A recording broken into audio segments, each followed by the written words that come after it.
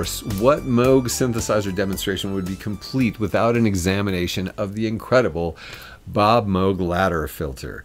The ladder filter found on the Minimoog is maybe the most definitive filter ever found on a synthesizer, the most desired filter, the most imitated, copied filter.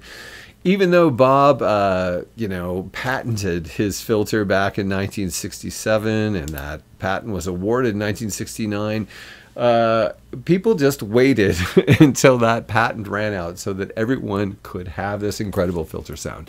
So, in this Minimoog demonstration, here we go. We are going to dig into the incredible filter found on the Moog Minimoog.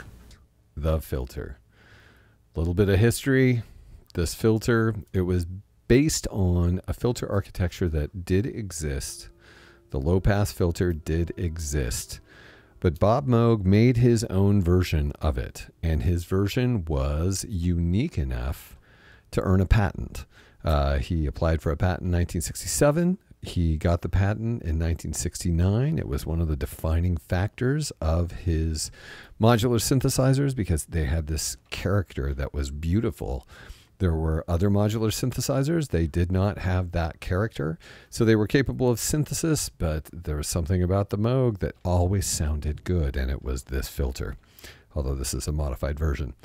Uh, but the concept, the ladder filter existed, but Bob Moog took the ladder filter and he built it his own way and resulted in something truly, truly beautiful and wonderful. And uh, luckily, that filter was put into this synthesizer, which is, you know, I always tell everyone like it's not just the filter. The Minimoog has other things going for it that that contribute to its remarkable and recognizable sound.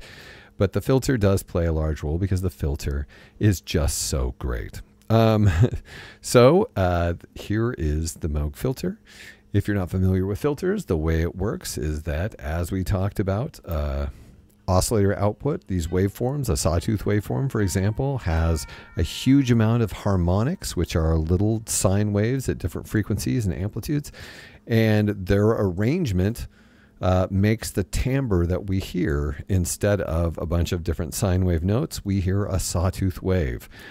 And what the filter does is it carves away harmonics out of that sound, eventually reducing the waveform to a sine wave once all of the harmonics have been carved out. But as it carves uh, harmonics out, the timbre of the sawtooth wave changes.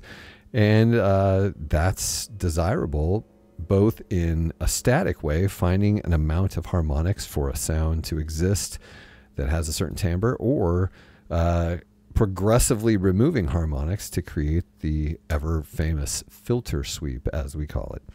But in any case, let's have a listen. I'm just going to play a note.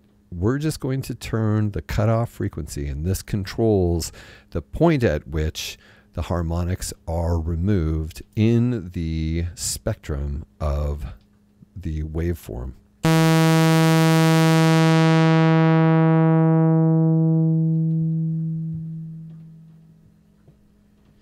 You'll notice the sound is completely erased, and that is because this is a 24 decibel per octave slope, which means the cutoff line is very up and down, meaning no harmonics are going to squeak by. They're all getting cut off. If you had a 12 decibel per octave, the slope is a little at more of an angle. So even when you've turned it all the way down, you could still feel, you can still hear a few harmonics sneaking through. But in this case, they're all gone, and that steep filter cutoff line is another factor that defines this ladder filter sound.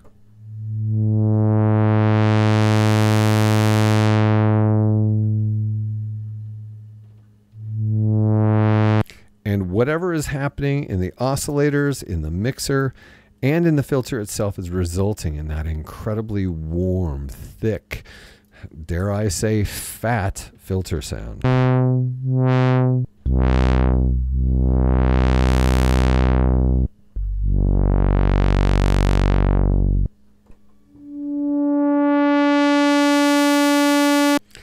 It's so beautiful. It's it's hard to even just you could sit there and do that this all day. Every time I do it, I'm like, oh, that sounds nice.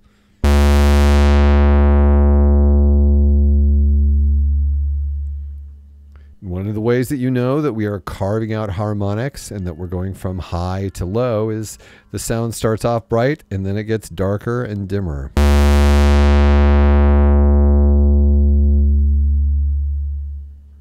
There are other types of filters. High pass filter, which would do the opposite. All the low end would go away, or band pass, both the high and the low would go away, depending on where you had the filter cutoff frequency.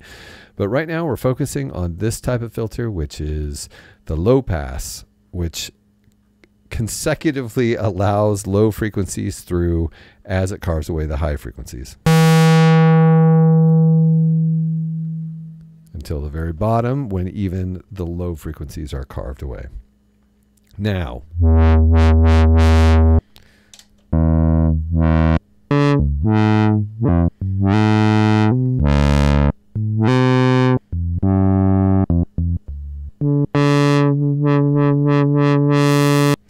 Uh, it's so pleasing. You could just do it all day. Anyway, so let us talk about. Oh, and earlier, you know, we talked about the triangle wave uh, not having a whole lot of uh, high frequencies and therefore not being really great for filtering. You can hear something happening there. But it's very subtle because the triangle wave has so few harmonics that when their presence is their presence is not very noticeable and when it's carved away it's not very noticeable. Anyway, so we have also emphasis. Now, what is emphasis? Emphasis is the first name attributed to this function emphasis. That's what Bob Moog called it. Uh, his synthesizers were the first to feature it, and uh, weirdly, there were there were several other terms that kind of came up. Other companies used different terms, uh, but resonance became the term that stuck. Um, I'm trying to remember the other one. Someone else probably remembers. Uh, but in addition to emphasis, uh, resonance, which it is. It's a it's a it's a resonation that is happening. And what resonance slash emphasis does is okay. You know, we keep talking about. We've been talking about how. In the oscillator, the sawtooth wave is made up of a lot of very quiet harmonics that are so barely audible that they come off as timbre instead of individual notes. Well, what resonance does is at the filter cutoff point, it takes the harmonic that you're currently set to and it boosts it so it becomes its own note. So it's just a sine wave at a certain frequency that's in the sound, but the resonance pushes that sine wave in amplitude. It makes it louder and louder and louder until it sticks out. And in that process, it creates a unique and desirable timbre. It also creates the outcome where if you want to play the filter like an oscillator, you can do it because the filter, because the resonance has boosted that filter sine wave, the filter cutoff, the sine wave at the filter cutoff point to the point of audibility. So then all of the other, you know, oscillators might be carved out, but that ringing wave shape is there and you can play it like notes, which we will talk about. Anyway, let's have a, a, a sense of the resonant sound. So as I turn it up, you can hear the sound, the timbre of the note changing. And if I turn it enough, you'll start to hear the whine of that harmonic that we're boosting into audibility. Audibility. Oh, it's too high. There it is. As I shift the filter cutoff, since the resonance is the sine wave at the filter cutoff boosted into audibility, uh, as I change the filter cutoff, it's focusing on a different harmonic that it's boosting into being able to be heard.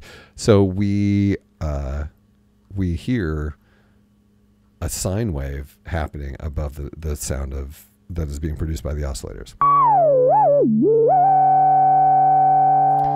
But if we back it off, it just creates a unique timbre because there is a boost in that harmonic and maybe others that are right there at the filter cutoff. So it gives it that kind of wow wow sound that wasn't there before.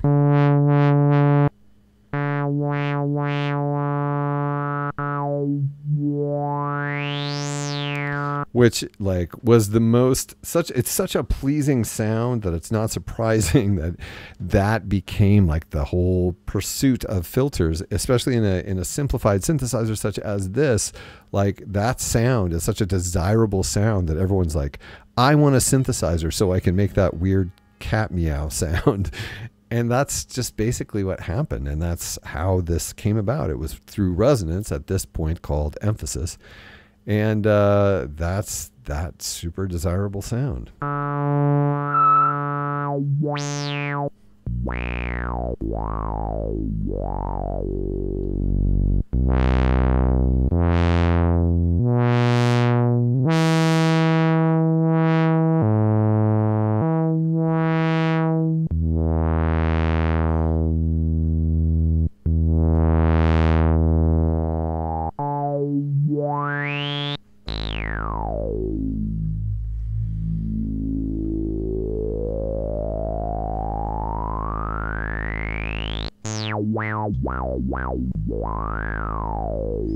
And it probably uh, it doesn't.